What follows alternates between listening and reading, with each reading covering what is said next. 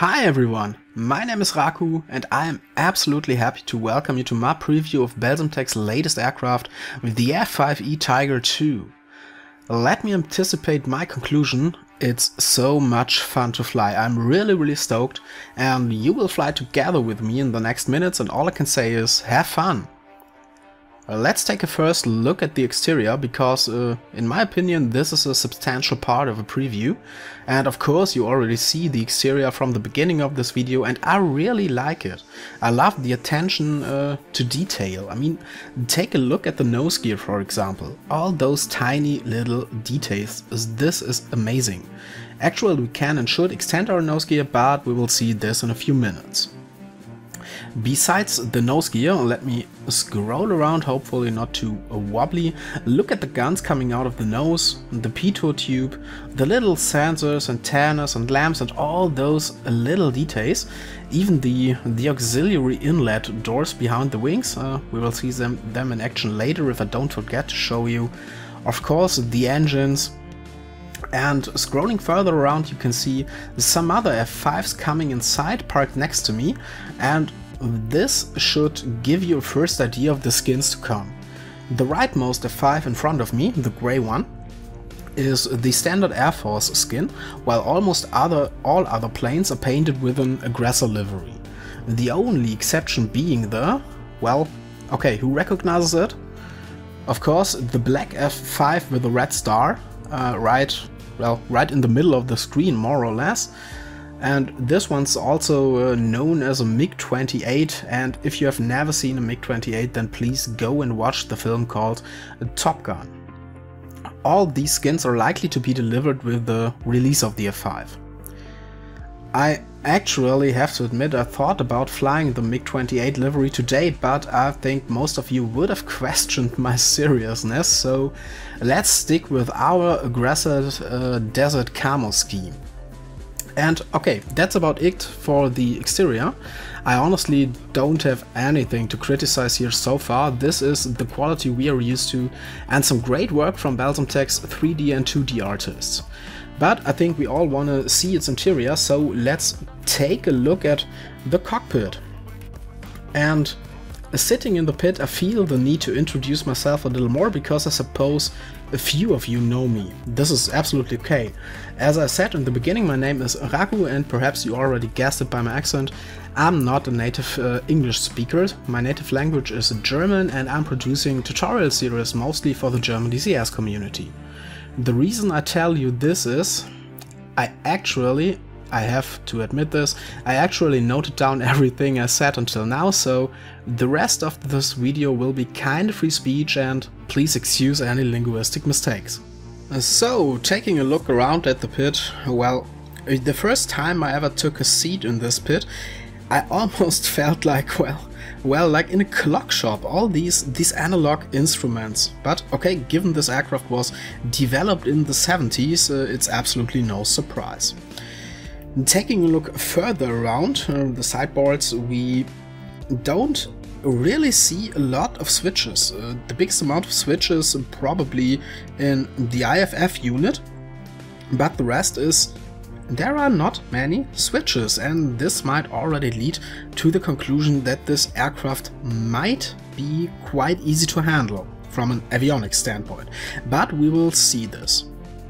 Okay, what are we going to do today we will of course uh, start up the F5E taxi and take off and I have an A50 and Russian AWACS flying around the mountains you see uh, right in the center of this green and if you're good at taking a guess uh, well you see the AIM-9 we have loaded and yes we will try to shoot this A50 down so you might get to see some some actions and explosions today. Besides uh, the both AIM-9s, we have a fuel tank loaded on our center line right below us. So we do have an, an additional bit of fuel, uh, especially for the takeoff. The takeoff is quite fuel consuming. And yes, Uh, let's start it up, shall we? Okay, first step in starting it up is to get some ground power via the ground crew. Okay, actually you don't need ground power, but whenever I have it available I like to use it. Actually you can start it with, uh, you can start it on your batteries only. Ground power is now on. There it is, some instruments spinning around. We got a light. A light is uh, every time a good sign that we have some power. And next step is to turn on the batteries and the generators and while I'm down here I will also turn on the oxygen. At this point maybe one word of caution. I don't... Uh, I haven't memorized the real startup procedure yet. I read the manual for the F5E and whenever I say manual in this video I refer to the to the real deal, to the real uh, F5E flight handbook. I uploaded it on digitalcombatsimulator.com in the user files and if I don't forget it I will put a link in the video description so you might uh, want to take a look into it. And it's really really easy to read and really easy to understand. I can only recommend to take a look into it. So this is my, well, my personal startup procedure so to say. Okay, we have electricity and we will have electricity when we disconnect the ground power and the engines are running. We have oxygen and for me it's turn time to turn on my lights. I like to fly with some lights but this is up to your preference. But the exterior lights should definitely be on. Let's turn on the formation lights too and of course the anti-collision beacon. We can see the nav lights here, red, uh, right green and left red. There it is. Okay. Next step, let's get some fuel flowing. Let's enable the boost pumps left and right. And I said earlier, we have a centerline tank, but we won't uh, enable the pump for the external tanks now. We will do this after takeoff. I think I remember reading in the manual that you that you take off only well more or less only with your usual boost pumps and activate the external tank or the pump for the external tanks after takeoff. Okay, we have some fuel flowing and we are ready to start our engines. To start our engines we need some compressed air. Usually, well most modern jets have an APU, an auxiliary power unit, and this um, this auxiliary power unit sucks in some air and gives it to the engines, so to say. We don't have this here, but the engines need some air to, to get spinning, so we will need help from the outside and again via the ground crew. Some compressed air, um, let's connect this. And yes, my radio menu is in German, so please excuse if you can't read this, but trust me, at least to this point I know what I do. We have some compressed air, let's uh, use it.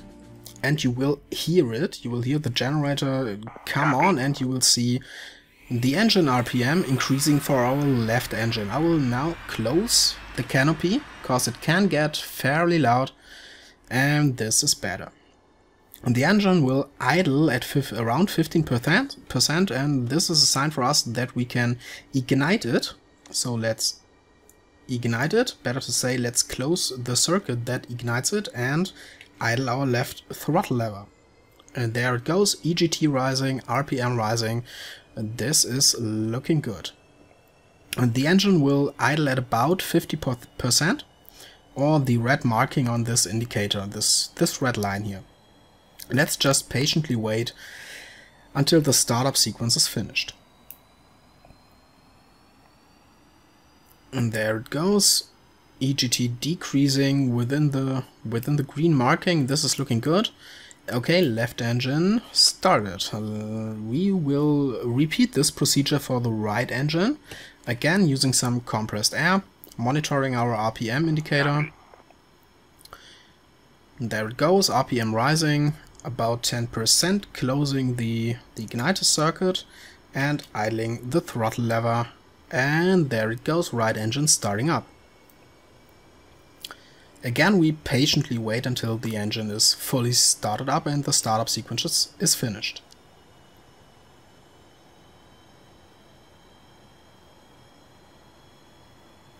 Thirty percent and rising, looking good.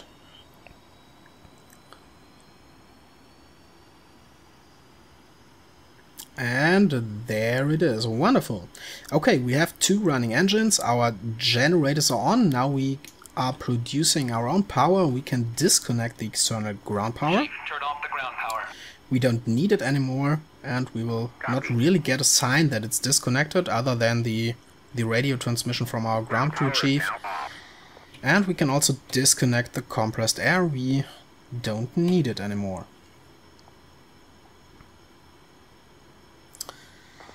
Okay, let's continue to, to get this, uh, the plane fully started up. Let's start all the systems. And first thing, well, while we're down here, we already started the electrical power, the oxygen, the boost pumps.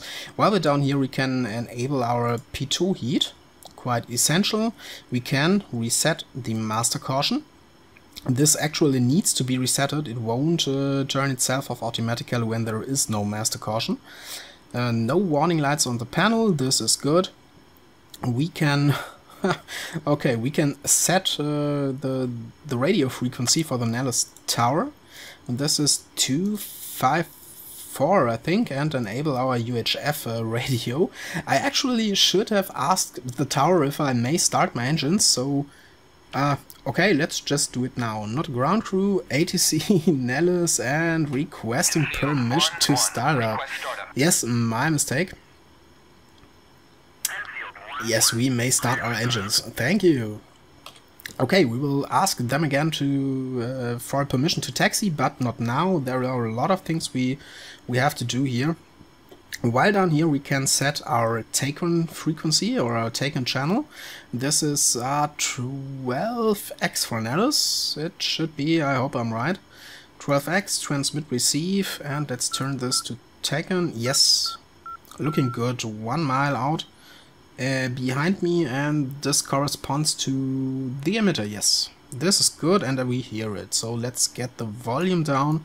I don't like to hear the constant beeping. Great. So they, these are our weapon controls. We will deal with them while in flight, but I will give us some light to it. And up here we will uncage our standby ADI. There it is, uncaged. Uh, gear panel, nothing to mess right now. Behind here, what do we have? Radar, we can set it to standby already. Watch out, do not uh, set it to operating while on the ground. Every every ground personnel standing in front of your aircraft might uh, get sick because of the radiation from your radar. Uh, pitch and yaw damper, we will activate them. And the chaff and flare dispensers, we will activate them too. And behind here, mm, circuit breakers, nothing to deal with right now. Right side looking good, lighting's looking good, IFF, uh, well let's turn mode 4 on for this flight. Looking really good. Okay, I think we are ready for taxi. Okay, one thing's missing, RWR, let's turn it on. Oh, and they have, here we hear a beeping. One E3 to the right, our own AWACS, and one A50 to our, well, be behind us and to the left. This is the enemy A50 we will hopefully shoot down. Uh, checking everything, this is... Oh, of course, one thing I did forget. We need to set our altimeter. Let's just set it to our QFE. Oh, okay, this was too fast. Let's just set it to our QFE.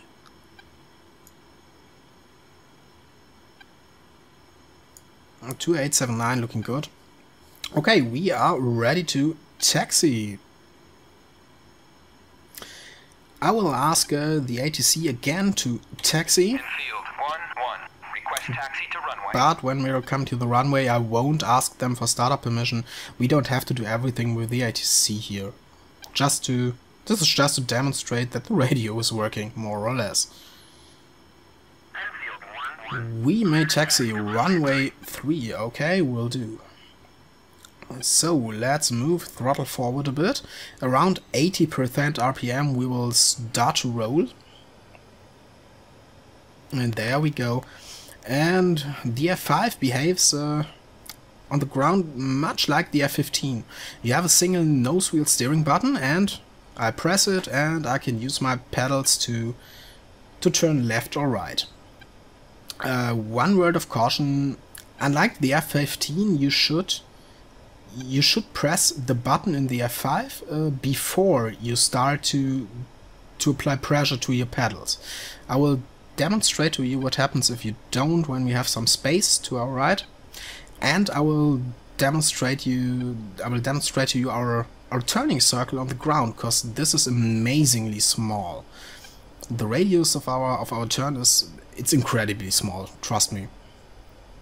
Okay, we have some space. I let go of the nose wheel steering button. Let me show you my axis in the lower left. You can see my pedals on the bottom here. Nothing happening right now. But if I apply some, well, let me apply some left pressure, about half of it.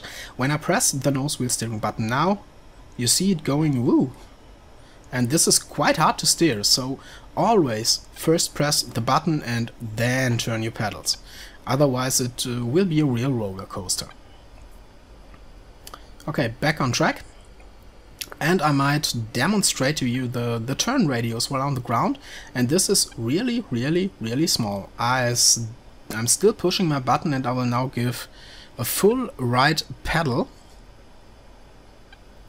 Applying a bit of, of thrust so we don't stop and you see how how really, really, really small our radius is. This is incredibly. You can turn on real tight spaces. This is amazing. I like it. I really, really like it. Okay, 360 finished. Let's continue to the runway.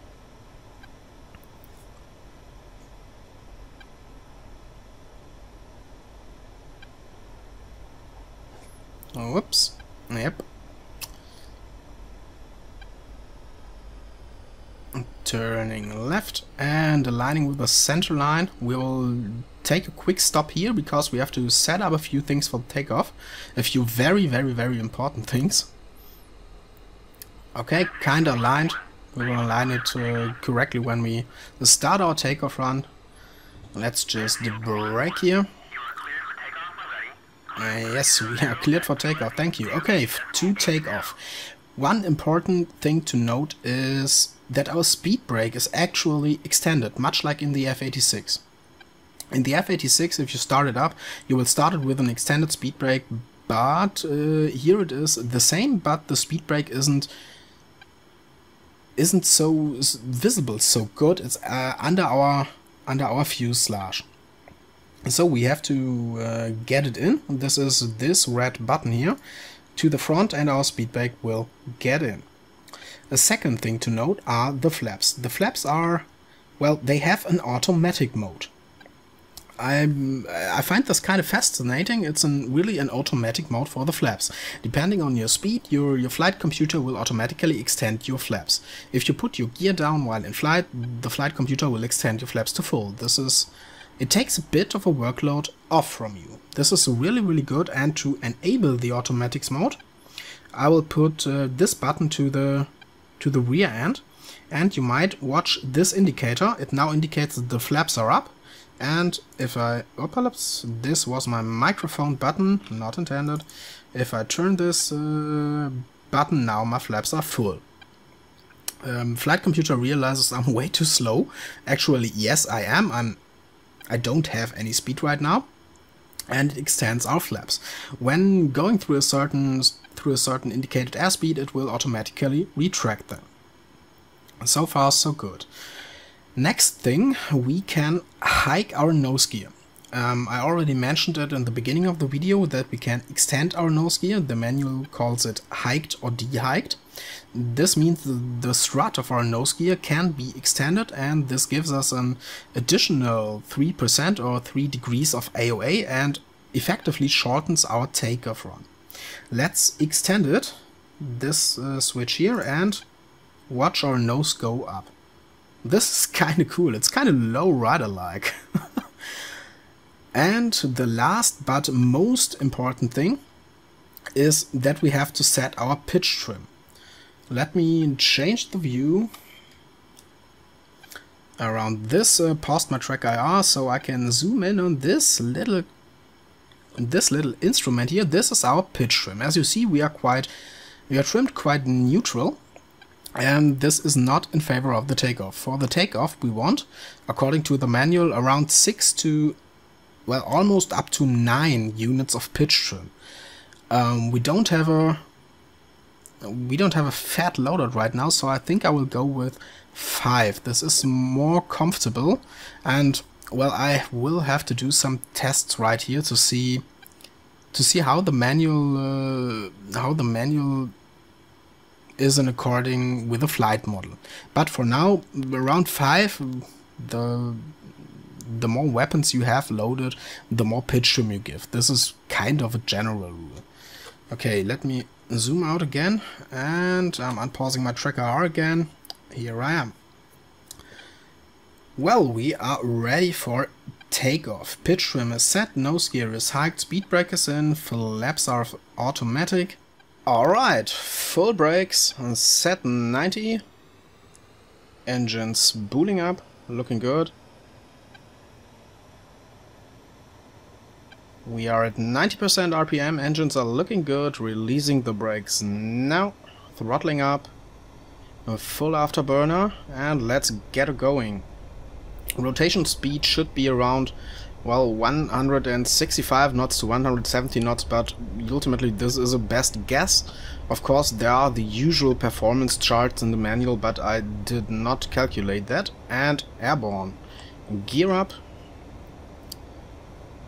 and trimming her down. She has a tendency to, to pitch up quite hard after takeoff, but as long as you know this, it's not a problem to counter it with, um, with, with some slight down trimming.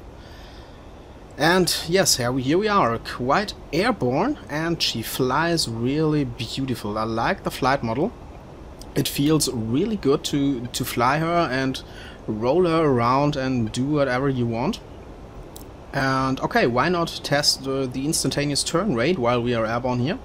So let's just pull back, pull back, pull back. We are beginning to lose speed. 5 Gs, five and a half, and okay, about five and a half Gs and subjectively she turns really really fast but that's about it from a test um, concerning the the turn rates and so on I'm still stuck at, well not really stuck at, but I'm still learning the avionics, especially the radar and the countermeasures. I have never ever used this panel in the back here, uh, the chaff and flare dispensers, and I have absolutely no idea what these RWR buttons may do. Except for uh, the power button, this is quite obvious. But uh, I will I will learn it, but I need more time for that. Okay, I can tell you a few things about the radar, but let's get her first into cruise mode. We need to enable our centerline tanks and we need to auto-balance our tanks. You can see on the fuel quantity uh, gauge that uh, the right tank has more fuel than the left tank. Okay, and this is why we have some balancing function. We could do it manually with a boost pump and crossfeed, but this may be a bit over the top for now, you can, you can read this up on the manual. And so, let's get our weapon systems and radar ready. Let's turn on our HUD to missile mode. We want to try to shoot an AIM-9 at the A-50. And let's turn on our radar to operating and we can see the radar working. Okay, let's tune into AWACS and get some some bearing to, to the A-50. There's my radio menu, AWACS and Bogey Dope. Let's see where it is, is somewhere left in front of us.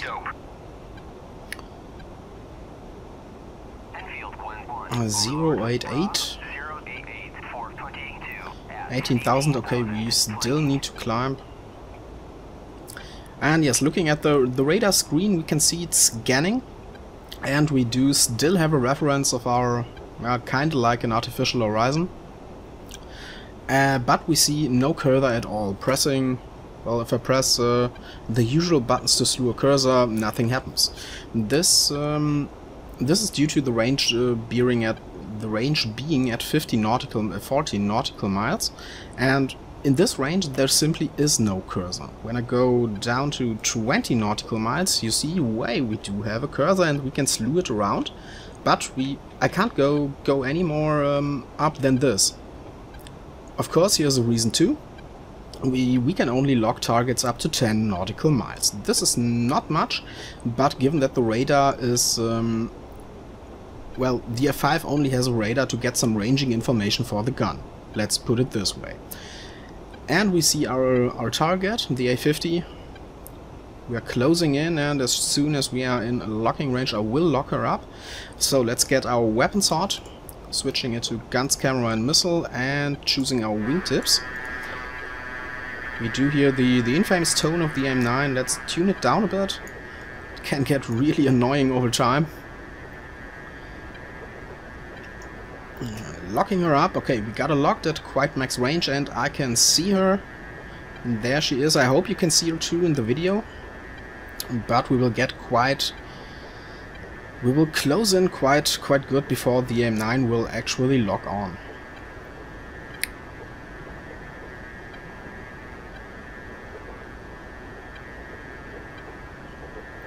Okay, our HUD is now in the missile mode. In the missile mode it's just a fixed reticle, nothing more. It's just so so that you get a slight idea where the boresight of the AIM-9 is looking and where you have to put your target to get a to get a lock of the of the heat seeker. While the other modes are two two air-to-air -air modes, one with a fixed reticle, one with a gyro activated reticle and a manual mode. With a manual mode you can set the depression manually, this is for air to ground. And we won't do air to ground today, I definitely had not enough time to practice. Okay, closing in quite fast. Seems like she already wants to, to perform some evasive maneuvers. Let's just put us behind her and try to shoot her.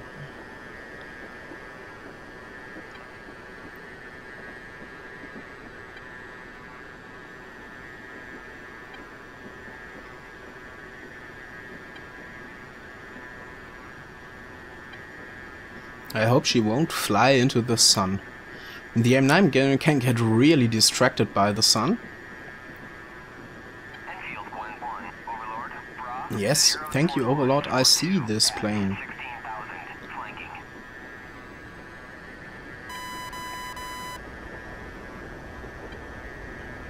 And here we come. Yes, I want to try to get right behind her. I just want to follow her, so so that I have more time to, to aim and shoot.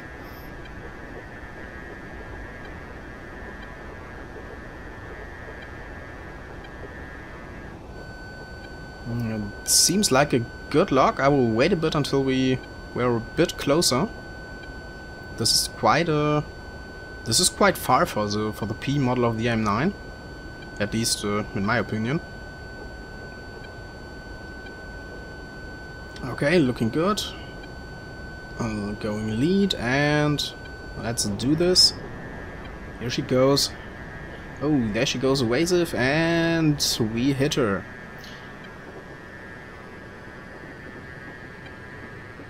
Okay, I won't fire the the uh, the second AIM-9 because I wanna show you the guns, and I won't wanna kill her with uh, the AIM-9 only. So let's turn off our AIM-9s, going guns only. And let's switch to the to the gyro-driven guns mode, and we can already see our Pipper changed. We got a range bar inside our Pipper, and it's not quite in range. When it is in range, we will see a, a dot in the upper right corner this will happen somewhere between the, the 3 o'clock mark and the 2 o'clock mark. So let's close in a bit. And there's one little secret here. This gun is extremely precise. Actually, you you only, ah, there we are in range, there's a dot. Actually, you only need to, to stabilize the Pipper for, I don't know, about half a second and it will hit. Okay, there we go, I'm closing in too fast here. Let's get rid of some speed. Don't want to close in that fast. Where she is? There she is, okay. Ah, uh, she's quite damaged looking at it from above.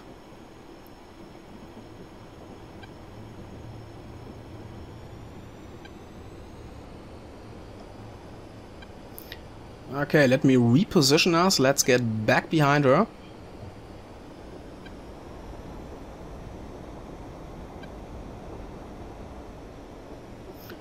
And let's get her locked up again. Ooh, we are quite slow. And we really feel how slow we are. She gets really, really shaky and nervous. This is great. I really love how she feels. Okay, let's lock her up again. And there we are.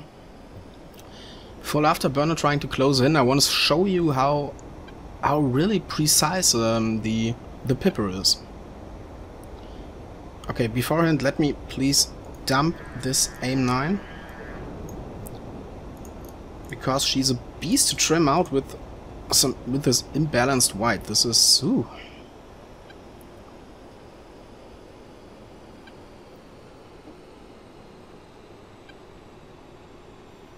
Okay, here we go again, slowly closing in. And Pipper seems to be quite nervous, but it isn't that hard to to really get it get stabilized on the target for I don't know half a second, a second. Okay, hit the engines, quite good. Going for a full blast and there she goes. I hope you, you saw how really how precise she is and this was quite a surprise for me. Um, most most, uh, well, quite manual gun modes I know in the other modules aren't that precise. Um, I don't know how how precise it is in reality, but this is this is awesome. This makes fun. And that's it for the A50. Okay, so let's get back to Nellis. Let's get back to land. Where is Nellis? Where is Nellis? Is it... Am I right above it? No, okay, slight orientation problems. Oh, it should be around there, yes, okay. Let's take a look at our HSI. attuned tuned in the TACAN. Direction of this arrow should be Nellis, yes. This looks good. So, let's uh, try to do a nice, nice landing. Okay, turning off our radar again. Let's go into standby mode. We don't need it anymore. Let's uh, turn off our weapons yeah, and our HUD. We don't need anything of this anymore. No more bandits around. And we can drop our centerline tank. We are completely on internal fuel. No more need for the centerline tank and I have to trim her out again. This is looking good. Okay, centerline tank, um, selective jettison, and away the, with it.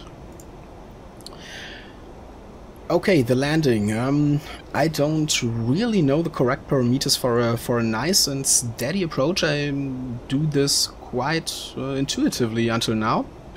I haven't had a chance to to learn these parameters, but I think we can get her down quite nice. Uh, at least I know it's almost completely AOA driven we have the usual AOA meter down here with a mark at um, 13 to, to 16 degrees. 13 to 15, yeah, this should be around 15 though. It's 14 to 16, hell, what's wrong with me today?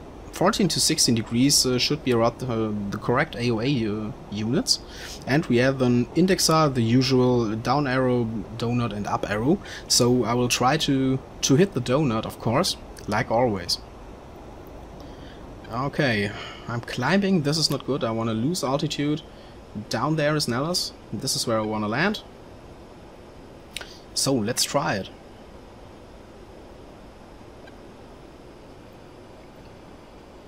Flaps are in auto mode, this is good. They will extend automatically when I put down the gear lever. This is how I want it to be right now.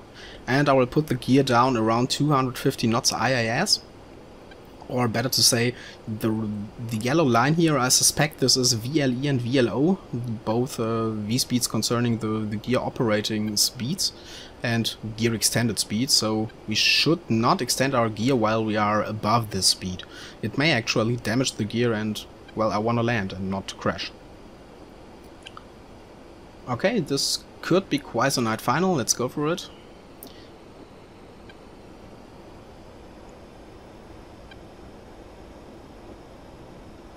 Mm, watching my watching my my vertical speed, my airspeed should drop. Both should drop quite quite slow. And keeping the runway inside, cause I will, of course I want to align myself. And again, she flies really beautiful. I can only repeat this. I'm sorry.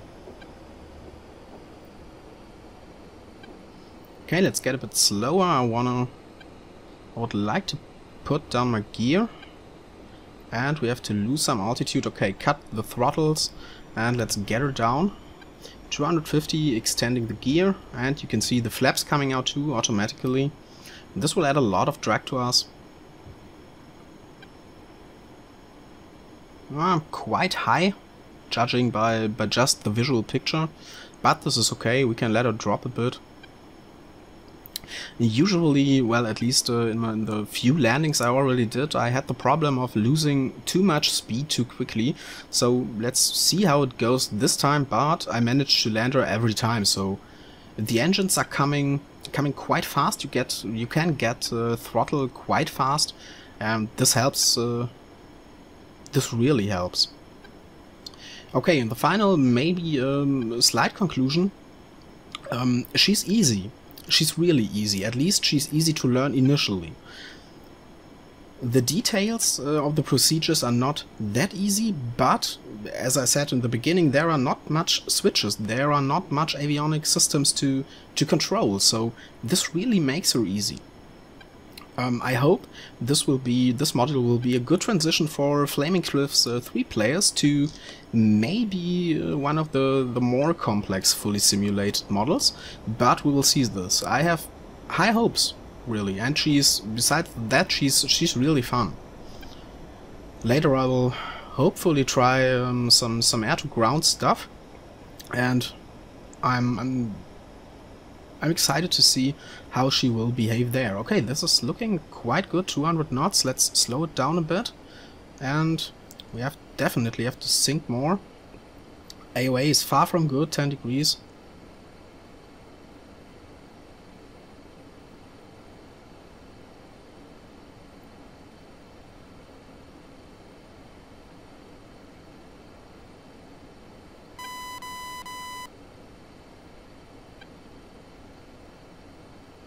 Now we're coming to it.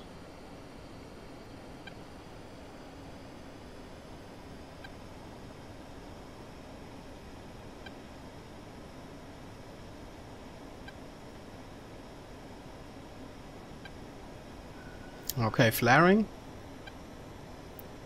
Cutting the throttle. And let's gently settle her down. Almost a donut, but uh, to be honest, this was the, the best and smoothest landing I ever did. Let's extend our chute. Yes, we have a drag chute. Uh, can we? Ah, there it is, you saw it. And hopefully I will, I will get you an external view of it. It slows us down really, really good. Okay, this is enough. Let's get rid of it. Pulling it and turning it in again. So that's it for the the preview of the F5E. I hope you had fun watching it. For me it was definitely fun flying it and I will fly it for a long time hopefully. So thank you for watching and I hope to see you next time. Bye!